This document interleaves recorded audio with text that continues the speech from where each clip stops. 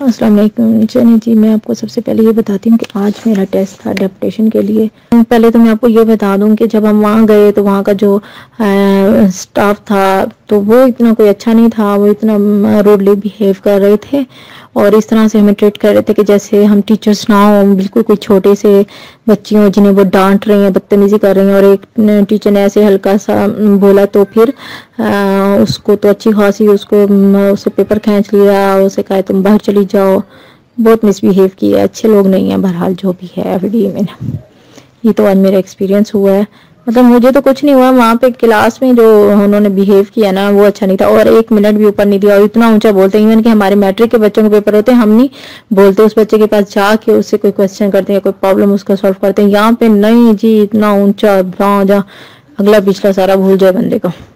सबसे पहले तो मिसमैनेजमेंट बहुत ज़्यादा थी इस हवाले से ना। चलिए, मैं बताती हूँ कि टॉपिक्स क्या थे। तो डेपुटेशन में तो जो पेपर आया था ना, वो तो इजी था। तो जैसे कि मैं आपको सबसे पहले ये बता दूँ कि इंग्लिश में ना सिनोनिम्स आए हैं इंटानिम्स आए हैं तो वो मुझे याद नहीं है कौन कौन से थे, लेकिन कुछ ये थे कि मैं सिंपल टेंस इसमें से था, जैसे she does not like to going market तो मैंने उसमें तो खैर गलती से मुझे याद था कि शी डज नॉट लाइक ही आएगा, लेकिन मैंने लाइक्स पे कर दिया ना जल्दी जल्दी में। ये मैंने पोर्शन लास्ट में किया था। मैंने सबसे पहले ना मैथ का पोर्शन अटेम्प्ट किया था। और पैसेज था और उसमें से उन्होंने क्वेश्चन दिए हुए थे पाँच और उसमें एमसीक्यू से तो वो बहुत इजी था वो हो गया था और एक दूसरा पैसेज दिया हुआ था, उससे उन्होंने सिर्फ़ दो क्वेश्चन किए हुए थे तो वो भी बहुत अच्छे हो से हो गया था और तीन चार ऐसे क्वेश्चन थे जो रिपीट हो रहे थे ना तो वो भी अच्छे से हो गया था। चलिए जब मैं बताती हूँ कि क्या क्या टॉपिक्स थे, जैसे कि फॉर्मेटिव असेसमेंट थी और strategy promote in inclusive education के बारे में पूछा हुआ था पीर असेसमेंट के बारे में पूछा था इंस्ट्रक्टिव मोटिवेटर फॉर स्टूडेंट के बारे में ब्लूम टेक्सनोमी आई थिंक इस तरह से था। प्रिलिमिनरी के बारे में बताना है। ब्लूम का यानी काफ़ी सारे तीन, चार आए हुए थे पोर्शन उसी में से उस पोर्शन में से सवाल आए हुए थे। Primary goal of different instruction in classroom था। Presented objective resolution I think यही मैंने लिखा हुआ है। जो जल्दी लिखा समझ नहीं आ रहा क्या लिखा है। कंस्ट्रक्टिव लर्निंग थ्योरी था और इस्लामियत के पोर्शन में था बैटल ऑफ़ जमाल जो है वो कब उसका नाम पड़ा? बैटल ऑफ़ जमाल कैमल से पढ़ा कैट से पढ़ा या बुक से पढ़ा ये ऑप्शंस दिए हुए थे। और बैटल ऑफ़ बदर जो है वो किस सन में हुई? फ़र्स्ट um, हिजरी को या टू हिजरी को इस तरह से था। ट्रेजेडी ऑफ़ करबला था कि वो क्यों ट्रेजेडी किस वजह से करबला ये हुआ ना? और दूसरा था हु रोड जिना पाकिस्तान। किसने यानी कि जिना ऑफ़ पाकिस्तान लिखा था और ऑप्शन दिए हुए थे स्पेन कनकर्ड खलीफा का नाम क्या था? थर्ड गवर्नर जनरल कौन था? और हमारा और वो क्या था? ऑर्डिनेंस किसने पास किया था? वो था और क्या था इनकोरेक्ट ऑप्शन अब इनकोरेक्ट ऑप्शंस कौन कौन से होते हैं? फॉर एग्जांपल हम हम जो हमें जो ऑप्शंस दिए हुए होते हैं क्वेश्चंस में, वो जो इनकोरेक्ट ऑप्शंस होते हैं, उसको हम क्या बोलते हैं? डिस्ट्रक्टिव बोलते हैं, या क्या बोलते हैं? डिस्ट्रक्शन बोलते हैं, या मिस्टेक्स होती हैं, या उसको हम क्या बोलते हैं? और एक था एलएमएस किसे कहते हैं? और STEM STEM in education acronomy acronym जो भी है, ये वर्ड था।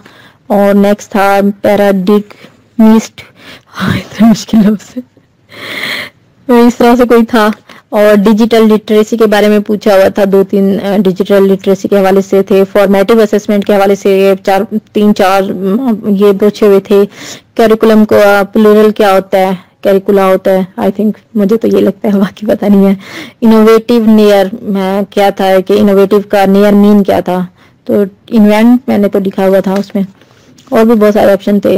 बुक जैसे होता है book is library food as a kitchen restaurant eat जो भी था। बहरहाल मैंने तो उसको रेस्टोरेंट में डाल दिया। आ, और इसके साथ एक और भी था कि बुक लाइब्रेरी और फ़ूड एक और दूसरे में भी यही था कि फ़ूड एज अ किचन और बाकी डिफरेंट ऑप्शंस भी थे। तो मैंने कुकिंग तो मैंने कुकिंग पे डाल दिया था। दूसरे वाले ऑप्शन पे। और था नाइफ कटिंग का था कि नाइफ है तो वो कट करेगी।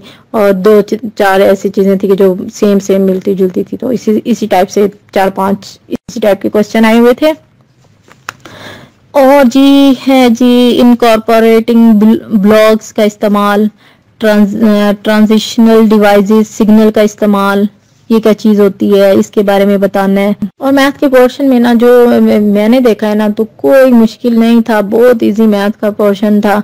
एक सीरीज़ का आया हुआ था कि ये नंबर्स हैं, इसके नेक्स्ट टू क्या होंगे? और एक क्वेश्चन था कि बुक में इतनी लाइब्रेरी है, फिर आपने परचेज की, फिर उसमें से इतनी डिस्कार्ड गई तो फिर टोटल कितनी बच गई? प्लांट ग्रो इतने इंच और मतलब ये देख लें कि अगर आप सिक्स सेवन एट के सिक्स वाला चैप्टर कर लेते हैं, या जो क्या कहते हैं, हम उसको क्या बोलेंगे? जो इंग्लिश में जो होते हैं, वो वाले क्वेश्चंस कर लेंगे तो ये वाला पोर्शन तो हल हो जाएगा। इसमें डिस्काउंट वाला भी था car of travel speed hours और इस तरह से था ना, बहुत इजी था। और एक सवाल लेंथ ऑफ़ ये rectangle area of rectangle find करना था। और डिस्काउंट वाले प्राइस थे कि इतना डिस्काउंट दिया तो ये क्या? ऑर्डर पेंसिल इतने दिए हैं अगर स्टूडेंट में बराबर पेंसिलें तकसीम होंगी तो हर स्टूडेंट के पास कितनी पेंसिल आ जाएगी? और मीन से रिलेटेड था, और एवरेज स्कोर है इतना तो अगर उसमें से हम एक पाँचवें, चार नंबर दिए हुए थे कि ये ये ये हैं तो अब इसमें से बताएँ पाँचवें वाले का क्या स्कोर होगा? एवरेज दिया हुआ था और चार नंबर दिए हुए थे और कह रहे थे फिफ्थ का स्कोर फाइंड करें। तो ये इस तरह से था। और नेक्स्ट मैथ का क्वेश्चन था कि plant grow two inches per week होते हैं। आफ्टर फाइव वीक्स इनिशली तो वो टेन इंचेस पे था। तो फाइव वीक्स के बाद उसके जो लेंथ होगी वो कितनी हो जाएगी, वो कितना टॉल हो जाएगा? तो देन मैंने तो उसको टेन मल्टीप्लाई ट्वेंटी करके बीस इंचेस पे कर दिया था। ये था। और मैथ का और क्या था? यही था कि टीचर अगर बच्चों को एक रो में पाँच बैठाती हैं तो पच्चीस स्टूडेंट्स हैं तो कितनी रोज बनेंगी? इस तरह से था। मैथ का यानी कि इजी था। Car travel speed twenty per hour और कितने, यानी कि दो घंटों में वो फिर कितना फासला तय करेगी तो वो तो मैंने साठ को दो से जरब दिया तो वन ट्वेंटी आ गया। One cup of sugar for cake third by eight cup of sugar for cookies तो फिर इनका हमने टोटल बताना था कि शुगर टोटल कितनी यूज़ हुई। वो आपने सम करके और एल्शियम लेके उसका आंसर निकाल लिया था। बस, और तो इसमें इस, ऐसा कुछ और नहीं था। बस बाकी कुछ डिवीज़न थी, कुछ डिस्काउंटेड थे, कुछ वो रेशो वाला भी सवाल था। छोटे बच्चों का यानी कि पोर्शन था। ओवरऑल ना। जैसे सैम सेव्ड 85 रुपीज़ सेव्ड करता है, वो जनवरी में 85 रुपीज़ सेव करता है और वो फरवरी में मजीद 15 परसेंट सेव करता है। तो इसका जवाब बताएँ जी कि वो फरवरी में टोटल कितने पैसे सेव करेगा? मैंने तो मेरे ख्याल में 95 पॉइंट कुछ ही था, लिखा था। तो वहाँ पे वो जो बड़े आए हुए थे ना एफ़ की तरफ़ से जो डिपार्टमेंट की तो उनसे मैंने पूछा था इसके हवाले से कि सिलेबस के हवाले से। तो उन्होंने कहा, जैसे ये टेस्ट आया हुआ इसी पैटर्न टाइप का ही कोई टेस्ट होगा। और मुझे कहते, आप वेबसाइट चेक करें मैंने कहा वेबसाइट पे नहीं है ना? तो फिर उन्होंने मुझे ये कहा कि, बेटा, इसी टाइप का ही टेस्ट होगा। भाई लेकिन ये है कि इसमें आपसे, क्योंकि जनरल सब्जेक्ट था तो इसलिए ओवरऑल इसके अंदर था। लेकिन उसमें आपका सब्जेक्ट जो है, आपका जैसे पाक स्टडी है मेरा तो उसमें पाक स्टडी में से भी आएगा। और बाकी पैटर्न जो है ना वो यही वाला इसी तरह से होगा जो मैंने आपको बता दी तो लेकिन उसमें इसमें जो चीज़ मैंने देखी है ना इंग्लिश का पोर्शन तो है मैथ का भी है नो डाउट इस्लामियत को तो बहुत थोड़ा टच किया है, और साइंस वाइंस का भी कोई इतना कोई खास पोर्शन नहीं उन्होंने डाला हुआ था, लेकिन पैडागोगी बहुत ज़्यादा था। बी एड वाली बुक्स तो आप लाजमी ना उसको आप रीड करें। चलिए जी, ठीक है ओके अल्लाह हाफिज़।